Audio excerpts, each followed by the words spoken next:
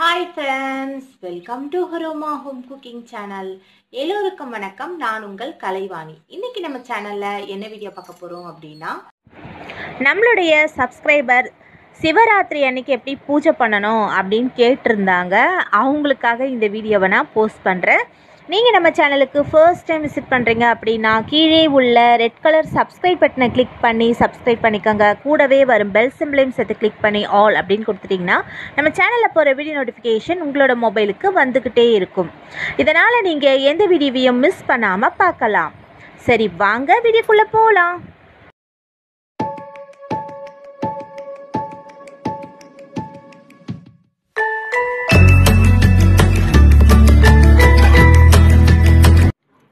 இந்த வருடம் மகா சிவராத்திரி பார்த்தீங்கன்னா ஆங்கில மாதம் அதாவது மார்ச் வியாழக்கிழமை அன்று வருகிறது. தமிழ் மாதம் அப்படின்னு பார்த்தீங்கன்னா மாசி மாதம் இருபத்தி ஏழாம் தேதி அன்று வருகிறது. ஆண்களுக்கு ஒரு ராத்திரி சிவராத்திரி அம்பாளுக்கு ஒன்பது ராத்திரி நவராத்திரி அப்படின்னு சொல்லப்படுது. சிவனுக்கு உரிய ராத்திரியான சிவராத்திரி அன்று சிவபெருமானை எப்படி நாம் வழிபட வேண்டும் நமது பூஜை அறையை எப்படி வந்து அலங்காரம் செய்து வழிபட வேண்டும் அப்படின்னு தான் இந்த வீடியோவில் தெரிஞ்சுக்க போகிறீங்க மகா சிவராத்திரி துவங்கும் முன்தினம் அதாவது புதன்கிழமையே பார்த்தீங்கன்னா பூஜை அறையை நல்லா சுத்தப்படுத்திட்டு விளக்குலலாம் எண்ணெய் விட்டு திரி போட்டு முடிஞ்சால் மலர்கள் சாற்ற முடியும் அப்படின்னா சாட்சிக்கோங்க இல்லை நாங்கள் காலையில் ஃப்ரெஷ்ஷாக போட்டுக்கிறோம் அப்படின்னா நீங்கள் காலையிலையும் மலர்கள் வந்து சாட்சிக்கலாம் மாக்கோலம் போட்டு கரெக்டாக ரெடி பண்ணி வச்சுருங்க காலையில் எழுந்து நம்ம பூஜை பண்ண போகிறோம் காலையில் ஐந்து மணிக்கு நீங்கள் இந்த பூஜையை துவங்கணும். இதை நீங்கள் பிரம்ம முகூர்த்தத்தில் கூட ஆரம்பிக்கலாம். ஆனால் வந்து பார்த்தீங்கன்னா நீங்கள் ஒரு நாள் ஃபுல்லாக கண்ணு முழிக்கணும். மறுநாள் ஃபுல்லாகவும் கண்ணு முழிக்கணும். ஏன்னா மறுநாள் மாலை ஆறு மணிக்கு பூஜையை முடிச்சதுக்கு அப்புறமா தான் நீங்கள் துவங் தூங்க போகணும். அதனால் ஒரு அஞ்சு மணிக்கு போல் எழுந்தீங்கன்னா கரெக்டாக இருக்கும். அதனால் இந்த வேலையெல்லாம் முடிச்சுட்டு மறுநாள் பார்த்தீங்கன்னா காலையில் எழுந்து நீராடிட்டு நெற்றியில் விபூதி தரிச்சுக்கோங்க. விபூதி எப்படி தரிக்கணும் அப்படின்னா நீங்கள் குங்குமமோ பொட்டோ எது வைக்கிறீங்களோ அதுக்கு மேலே தான் தரிக்கணும். கீழே வந்து தரிக்கக்கூடாது. குங்குமம் தான் வந்து பார்த்திங்கன்னா பொட்டுக்கு கீழே நம்ம வைக்கிற பொட்டுக்கு கீழே அதாவது நெற்றி இரண்டு புருவங்கள் சேரும் பார்த்தீங்களா? அந்த இடத்துல தெரிக்கணும். இதோட அர்த்தம் என்னென்னா எப்பவுமே வந்து ஒரு பெண்ணாக பெண்ணாகப்பட்டவள் வந்து பார்த்திங்கன்னா ஒரு ஆணுக்கு கீழே தான் இருக்கணும். அதாவது இதை வந்து ஒரு பெண் அடிமைத்தனம் அப்படின்னு யாரும் எடுத்துக்காதீங்க. நம்ம மனசால் எவ்வளோ வலிமையாக இருந்தாலும் ஒரு அன்புக்கு கீழ்ப்படிஞ்சவங்க அப்படின்றதுக்காக தான் இந்த அர்த்தமாகுது. அதனால தான் பார்த்தீங்கன்னா இப்போ பார்வதி தேவியை பார்த்தீங்கன்னா சிவனுக்கு கீழே தான் இருப்பாங்க. ஆனால் பார்வதி தேவிக்குன்னு நிறைய சக்திகள் இருக்குது அவங்க தான் வந்து அபிராமி அந்தாதியிலேயே பா பாடியிருக்காங்க. சிவனுக்கு முன்னவளே அப்படின்னு பாடியிருக்காங்க. ஆனாலும் எப்பவுமே பார்த்திங்கன்னா அவங்களோட சக்தியெல்லாம் தெரிஞ்சோ சிவபெருமானுக்கு அவங்க கொஞ்சம் அடக்கமாக தான் இருப்பாங்க. அந்த மாதிரி நம்மளும் கொஞ்சம் வந்து கீழ்ப்படிஞ்ச நிலையில் இருக்கிறோம் அப்படின்றத தெரியப்படுத்திக்கிறதுக்காக தான் குங்குமத்தை கீழே வைக்கிறோம். அதுக்காக எல்லோரும் என்கிட்ட சண்டைக்கு வந்துடாதீங்க இந்த காலத்தில் வந்து பார்த்திங்கன்னா ஆண் பெண் எல்லாமே சரிசமமாக இருக்கிறோம். ஆனாலும் இது வந்து இப்படி தான் வைக்கணும் அப்படின்றதுக்காக நான் சொல்கிறேன் எப்பொழுதுமே திருநீர் தரிக்கும் பொழுது பார்த்திங்கன்னா சிவாய நமக அப்படின்னு சொல்லி தான் தரிக்கணும். குங்குமம் தரிக்கும் பொழுதும் ஒரு மந்திரம் இருக்கிறது. அதை வந்து நான் உங்களுக்கு அடுத்த வீடியோ பதிவில் எப்பயாவது சொல்கிறேன் இப்போ வந்து வீடியோ லென்த்தியாக போகும். இப்போ வந்து குங்குமம் தரி சாரி விபூதி தரிச்சதுக்கு அப்புறமா நீங்கள் தீபம் ஏற்றி இறைவனை வழிபடணும். உங்களுக்கு தெரிஞ்ச திருவாசகமோ சிவபுராணமோ அல்லது நூற்றி எட்டு போற்றி சிவனோட நூற்றி எட்டு போற்றி சொல்லலாம். இல்லை அப்படின்னா ஓம் சிவாய நமக அப்படின்றதையே நூற்றி எட்டு முறை சொல்லிட்டு கூட நீங்கள் பூஜையை ஆரம்பிக்கலாம். எப்போவுமே பார்த்தீங்கன்னா நான் முதலே உங்ககிட்ட சொன்ன மாதிரி விநாயகருக்கு பூஜை பண்ணிவிட்டு குலதெய்வத்தை வழிபட்டுட்டு அதுக்கப்புறம் சிவபெருமானை வழிபட ஆரம்பிங்க. அவருக்கு வந்து நெய்வேத்தியமாக தாம்பூலம் அப்படி இல்லைன்னா ஒரு பால் கற்கண்டு உங்களால் என்ன முடியுமோ அதை நெய்வேத்தியமாக வச்சு பூஜையை நீங்கள் முடிச்சுட்டு கற்பூரம் காமிச்சிட்டு அருகிலுள்ள சிவாலயத்துக்கு நீங்கள் போகலாம். அப்படி இல்லை அப்படின்னா குலதெய்வம் கோயிலுக்கும் போகலாம். அங்கு சென்று தீபம் ஏற்றி இறைவனை வழிபட்டு வ நீங்கள் வந்து வீட்டுக்கு வந்து உங்கள் பூஜையை ஆரம்பிக்கணும். எப்பவுமே இந்த பூஜைன்னு கிடையாது. எப்பவுமே எல்லா பூஜைக்குமே சிலர் வந்து பார்த்தீங்கன்னா வெள்ளிக்கிழமையில் வந்து ராகு பகவானுக்கு வந்து பூஜை விளக்கேற்றுவாங்க ராகு காலத்தில் விளக்கேற்றுவாங்க அப்படி இல்லைன்னா சாதாரணமாகவே கோயிலுக்கு போவாங்க. அந்த மாதிரி இருக்கிறவங்க கூட ஃபர்ஸ்ட் வந்து வீட்டில் வந்து விளக்கேற்றி நம்ம வந்து சுவாமி கும்பிட்டுட்டு அதுக்கப்புறமா தான் கோயிலுக்கு போகணும். அங்கே போயிட்டு சுவாமியை வழிபட்டுட்டு நம்ம வந்து நேராக வீட்டுக்கு தான் வரணும். வேறு யார் வீட்டுக்குமே போகக்கூடாது ஏன் அப்படி சொல்லுவாங்க அப்படின்னா இறைவன் வந்து நம்மளோட கூடையே வருவார் அப்படின்னு ஒரு ஐதீகமாகுது. அப்போ நீங்கள் வேறு யார் வீட்டுக்காவது போனீங்கன்னா அவங்க வீட்டுக்கு அவர் போயிடுவார் அப்படின்னு சொல்லுவாங்க எப்போவுமே எ- எந்த ஒரு கோயிலுக்கு போனாலுமே நேராக உங்கள் வீட்டுக்கு வந்து பூஜை அறையில் ஒரு ரெண்டு நிமிஷம் உட்காரணும். அப்போ தான் அந்த சுவாமி வந்து நம்ம வீட்டு பூஜை அறையில் வந்து அமருவாங்க. அமர்ந்து ஒரு நிமிஷம் நல்லா ரெண்டு நிமிஷன்றது ஒரு அஞ்சு நிமிஷம் கூட உட்காரலாம் ஒன்றும் பிரச்சனை இல்லை. அஞ்சு நிமிஷமாவது அமர்ந்து அந்த பூஜையை நீங்கள் முடிச்சிங்கன்னா தான் அந்த சுவாமி வந்து உங்கள் வீட்டு பூஜை அறையில் உட்காந்து உங்களுக்கு வந்து நல்ல விஷயங்கள் வந்து செய்வாங்க. இப்போ நீங்கள் விரதம் இருக்க ஆரம்பிக்கணும். நாள் முழுவதும் விரதம் இருக்கலாம். அதாவது சாப்பிடாமையே இருக்கலாம். இல்லை கர்ப்பிணிகள் உடம்பு சரியில்லாதவங்க அவங்கெல்லாம் பார்த்தீங்கன்னா பால் பழம் சாப்பிட்டுட்டு விரதம் இருக்கலாம். எங்களால் முடியவே முடியாது அப்படின்றவங்க அசைவத்தை தவிர்த்துட்டு அசைவம் மட்டும் அன்றைக்கி சாப்பிடாதீங்க. அன்னைக்கு முந்தின நாளும் சாப்பிடக்கூடாது. சிவராத்திரி அன்னைக்கும் சாப்பிடக்கூடாது. மறுநாள் மூணு நாள் கவுச்சியை சாப்பிடக்கூடாது. இந்த பூஜையை பொதுவாக செய்யும் பொழுதே நான்வெஜ் சாப்பிடவே கூடாது. அந்த மாதிரி வந்து நீங்கள் வந்து பூஜையை வந்து முடிச்சுக்கலாம். எங்களால் சுத்தமாக முடியாது அப்படின்றவங்க. உங்கள் வீட்டில் சிலை இருக்குது அப்படின்னா நீங்கள் வீட்லேயே வந்து அபிஷேகத்தை ஆரம்பிக்கலாம்.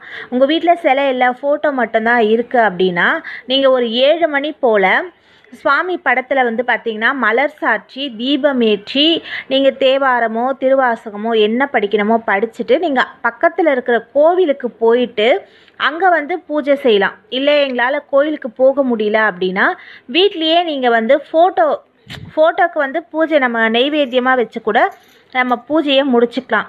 முடிஞ்ச வரைக்கும் கோயிலுக்கு போகிறதுக்கு ட்ரை பண்ணுங்கள் ஏன்னா கோவிலில் பார்த்தீங்கன்னா மந்திரங்கள்லாம் உச்சரித்து நல்லா அபிஷேக ஆராதனைலாம் நடக்கும். அது பார்க்குறதுக்கும் நல்லாயிருக்கும். பார்த்தாலும் ரொம்ப நல்லது. அதனால் சொல்கிறேன் இப்போ இந்த சிவராத்திரிக்கே பார்த்தீங்கன்னா ஒரு சின்ன கதை இருக்குது ஒரு நாள் வந்து சிவபெருமான் என்ன பண்ணுறாரு கைலாயத்தில் வில்வ மரத்தோட அடியில் அமர்ந்து பார்வதி தேவிக்கு வந்து வேத ஆகமங்களை போதிச்சிட்ருக்காரு இருக்காரு. அப்போ வந்து மரத்துக்கு மேலே ஒரு குரங்கு உட்காந்து வில்வ இலையை ஒன்றா பறித்து அம்பாள் மேலே போட்டுக்கிட்டே இருந்தது. தேவியும் என்ன பண்ணாங்கன்னா இலையை தட்டி விட்டு இறைவன் சொல்கிறத வந்து ரொம்ப பயபக்தியோடு கேட்டுகிட்டே இருந்தாங்க. வில்வ இலை வந்து பார்த்திங்கன்னா அதிக அளவில் விழுந்து கொண்டே இருந்ததுனால தேவி வந்து ரொம்ப கோபமடைந்து அந்த குரங்கை வந்து மேலே நோக்கி பார்த்தாங்க. அதுக்கு வந்து சிவபெருமான் தேவி குரங்கும் உன் குழந்தை தானே அப்படின்னு கேட்க அவங்களுடைய கோபம் வந்து தணிஞ்சு அம்பாள் வந்து அருட்பார்வையினால் குரங்கை பார்க்க அது கீழே இறங்கி வந்து மெய்ஞானம் பெற்று அந்த குரங்கு இறைவனை நோக்கி சென்று வலம் வந்து வணங்கி நான் வந்து தெரியாமல் செஞ்சிட்டேன் என்னை மன்னிச்சிடுங்க அப்படின்னு குரங்கு வந்து இறைவனை நோக்கி கேட்டுது. அதுக்கு இறைவன் என்ன சொன்னார் அப்படின்னா நீ தெரிஞ்சு பண்ணியோ தெரியாமல் பண்ணியோ இன்றைக்கி வந்து சிவராத்திரி.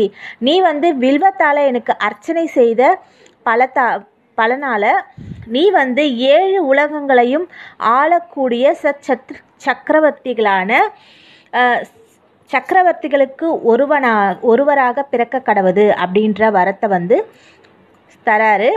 அப்படி பிறந்தவர் தான் முசுகுண்ட சக்கரவர்த்தி. இது வந்து தெரியாமல் பண்ணது வில்வத்தில் தெரியாமல் அர்ச்சனை பண்ணதுக்கே அவர் வந்து சக்கரவர்த்தியாக பிறந்தார். அப்போ தெரிஞ்சு நம்ம பூஜை பண்ணோன்னா நமக்கு எந்த ஒரு பலன் கிடைக்கும் அப்படின்னு நீங்கள் பார்த்துக்கோங்க இந்த கதையை சொல்லும்போது நான் கொஞ்சம் திணறிட்டேன் எல்லாரும் என்னை மன்னிச்சிடுங்க இந்த பூஜை பார்த்தீங்கன்னா ஒவ்வொரு நேரத்தில் நம்ம பண்ணும்பொழுது ஒரு ஒரு ஒரு பலன் கிடைக்கும். அதே நேரத்தில் சிவபெருமானுடைய பரிபூர்ண அருளும் கிடைக்கும். குலதெய்வ முக்கியமாக குலதெய்வத்தோட அருள் நமக்கு கிடைக்காததுனால தான் நம்ம ரொம்ப கஷ்டப்பட்டுட்டு இருக்கோம் குலதெய்வத்துடைய அருளும் நமக்கு பரிபூர்ணமாக கிடைக்கும். இந்த சிவராத்திரி அன்னைக்கு நீங்கள் கோயிலுக்கு போயிட்டு கோயிலை சுற்றிட்டு வரும்போது கோயிலுக்கு பின்னாடி பார்த்தீங்கன்னா லிங்கோத்பவ திருமேனி இருக்கும். அதாவது சிவன் லிங்கம் இருக்கும். அதுக்குள்ளே சிவன் இருப்பார். மேலே வந்து பிரம்மா இருப்பார். கீழே வந்து விஷ்ணு வந்து தேடிட்டு போகிற மாதிரி ஒரு ரூபம் இருக்கும். இது சிவன் கோயில் எல்லா கோயிலுமே இருக்கும். அவங்களையும் நீங்கள் கண்டிப்பாக வழிபட்டு வர்றது ரொம்ப நல்லது.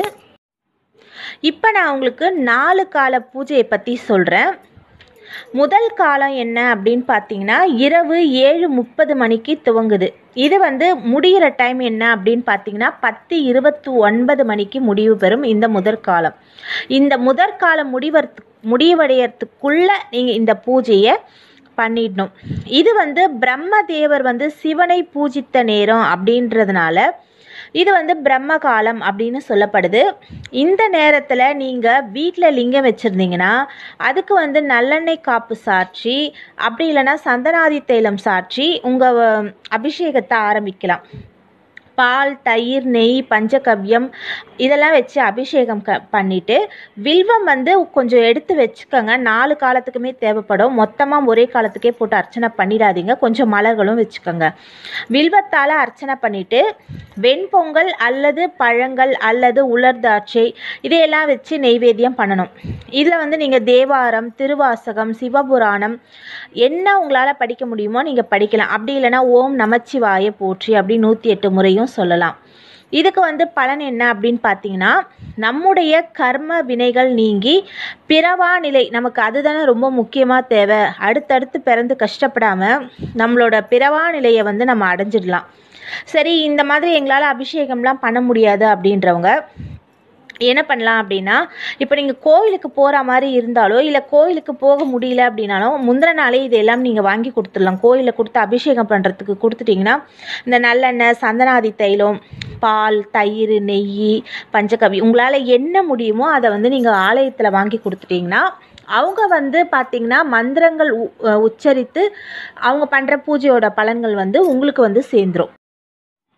அடுத்து வந்து பார்த்தீங்கன்னா இரண்டாவது காலம் அதாவது பத்தரை மணியில் துவங்கி பதினொன்று ஐம்பத்தி ஒம்பது மணிக்கு தான் முடியுது. இந்த காலம் வந்து பார்த்தீங்கன்னா மகாவிஷ்ணு வந்து சிவபெருமானை பூஜித்த காலம் அப்படின்றதுனால எப்பவுமே சிவன் வந்து பார்த்தீங்கன்னா அபிஷேக பிரியர் விஷ்ணு தான் வந்து அலங்கார பிரியர். அவரே அர்ச்சித்த காரணத்தினால இந்த காலத்தில் வந்து பார்த்தீங்கன்னா நீங்கள் வந்து சிவபெருமானை நல்ல மலர் சாற்றி அலங்காரம் பண்ணிக்கலாம். நீங்கள் வந்து இளநீர் பஞ்சாமிரதம் அபிஷேகம் செஞ்சு நல்ல மலர்கள் சாற்றி அவருக்கு வந்து பார்த்திங்கன்னா நல்ல அழகாக ட்ரெஸ் பண்ணி நீங்கள் வந்து தேவாரமோ திருவாசகமோ என்ன உங்களால் படிக்க முடியுமோ மறுபடியும் இரண்டாவது காலத்திலே நீங்கள் இதையெல்லாம் படிச்சுட்டு சர்க்கரை பொங்கல் கற்கண்டு பொங்கல் பாசிப்பருப்பு பாயாசம் இதில் எதையாவது ஒன்று நீங்கள் வச்சு இல்லைன்னா பழங்கள் இல்லை உலர் திராட்சை உங்களால் என்ன முடியுமோ அதை வச்சு நீங்கள் பூஜை செய்யலாம். இதுக்கும் நீங்கள் கண்டிப்பாக வில்வத்தால் அர்ச்சனை பண்ண மறக்காதீங்க. இதுக்கு வந்து நீங்கள் இந்த மாதிரி வில்வத்தால் அர்ச்சனை பண்ணி நீங்கள் வந்து பூஜை செய்யும்போது பார்த்தீங்கன்னா மகாலட்சுமியோடைய பரிபூரண அருள் நமக்கு கிடைக்கும். மகாலட்சுமிக்கு வில்வத்தால் அர்ச்சனை பண்ணுறது ரொம்ப ரொம்ப விசேஷம். அவங்க ரெண்டு பேருமே சேர்ந்து பண்ணதுனால இந்த பரிபூர்ண அருள் வந்து நமக்கு கிடைக்கும். மகாவிஷ்ணுவுடைய பரிபூர்ண அருளும் நமக்கு கிடைக்கும். மூன்றாவது காலம் பனிரெண்டு மணிக்கு துவங்கி நான்கு இருபத்தி ஒன்பது மணி வரை. இந்த காலத்தில் வந்து பார்த்திங்கன்னா அம்பிகை அவங்க அர்ச்சனை பண்ண காலம். இந்த மூன்றாவது காலத்தில் மட்டும் தாழம்பூ அர்ச்சனை பண்ணலாம். மற்ற நேரம்லாம் சிவனுக்கு வந்து தாழம்பூ நம்ம சாற்ற மாட்டோம். இந்த மூன்றாவது காலத்தில் தாழம்பூவால் அர்ச்சனை செல் செய்து வில்வத்தால் பூஜை செய்து எள்ளு சாதம் பழம் இதெல்லாம் நெய்வேத்தியம் பண்ணிவிட்டு அதே மாதிரி தான் தேவாரமோ திருவாசகமோ உங்களால் என்ன செய்ய படிக்க முடியுமோ படிச்சுட்டு வில்வத்தால் அர்ச்சனை பண்ணிவிட்டு தூப தீபம் காட்டி நம்ம பூஜையை முடிச்சுக்கணும். இந்த மூன்றாவது காலம் செய்கிற பூஜைக்கு வந்து என்ன பலன் அப்படின்னா அம்பாலே அர்ச்சனை பண்ணதுனால நம்ம என்ன வேண்டி இறைவனை வழிபட்டாலும் கேட்ட வரம் கை மேலே கிடைக்கும். அதனால் இந்த மூன்றாவது கால பூஜையை நீங்கள் செஞ்சுக்கோங்க. நான்காவது காலம் அதாவது நான்கு முப்பது மணிக்கு பிரம்ம முகூர்த்த நேரம் என்று சொல்லப்படுகிற இந்த நான்காவது காலத்தில் பார்த்தீங்கன்னா சகல ஜீவராசிகளும் வழிபட்ட நேரம். இந்த நேரத்தில் இறைவனை வில்வத்தால் பூஜை செய்து பால் பழம் பழச்சாறு கரும்புச்சாறு சுத்த அன்னம் இதையெல்லாம் வச்சு நெய்வேத்தியம் பண்ணி நான் முதலே சொன்ன மாதிரி தேவாரமோ திருவாசகமோ என்ன படிக்க முடியுமோ படிச்சுட்டு வில்வத்தால் அர்ச்சனை பண்ணி தூப தீபம் காட்டி பூஜையை நீங்கள் நிறைவு செய்யணும். தூங்காமல் இருந்து இந்த பூஜையை நீங்கள் பண்ணணும். இதுக்கு வந்து நீங்கள் சிவபுராணமோ சிவபுராணமோ பெரிய புராணமோ தேவாரமோ திருமுறையோ திருவாசகம் உங்களுக்கு என்ன தெரியுமோ அதை நீங்கள் பாராயணம் பண்ணலாம். முடிஞ்ச வரை பார்த்தீங்கன்னா பன்னிரெண்டு மணி அதாவது ஒரு மணி வரைக்கும் நீங்கள் கண்ணு முழிச்சு இந்த பூஜையை பண்ணலாம். முடியாதவங்க வந்து பார்த்தீங்கன்னா நான் சொல்கிற இந்த இளநீர் பஞ்சாமிர்தம் பால் தயிர் வெண்ணெய் இது எல்லாமே வந்து பார்த்திங்கன்னா நல்லெண்ணெய் இது எல்லாமே வந்து பார்த்திங்கன்னா நீங்கள் வந்து கோவிலில் வந்து வாங்கி கொடுத்துட்டிங்கன்னா அவங்க வந்து அபிஷேகம் பண்ணுவாங்க. வீட்லேயே உங்களால் முடிஞ்சால் ஒரு மணி வரைக்கும் முழிச்சிருந்து நெய்வேத்தியம் வச்சு சுவாமியை நீங்கள் வழிபட்டுக்கலாம். நம்மளுடைய சப்ஸ்கிரைபர் கேட்டதுனால இந்த பூஜா வீடியோவை நான் உங்களோட ஷேர் பண்ணியிருக்கேன். இந்த வீடியோ யூஸ்ஃபுல்லாக இருந்ததுன்னா உங்கள் ஃப்ரெண்ட்ஸ் அண்ட் ஃபேமிலி கூட ஷேர் பண்ணிக்கோங்க. இந்த வீடியோ உங்களுக்கு பிடிச்சிருந்ததுன்னா ஒரு லைக் கொடுங்க. உங்கள் கமெண்ட்ஸை கமெண்ட் பாக்ஸில் போஸ்ட் பண்ணுங்கள் இன்னும் ஒரு யூஸ்ஃபுல்லான வீடியோவில் நான் உங்களை சந்திக்கிறேன். அது வரைக்கும் thank you so much for வாட்சிங் friends take care bye bye happy cooking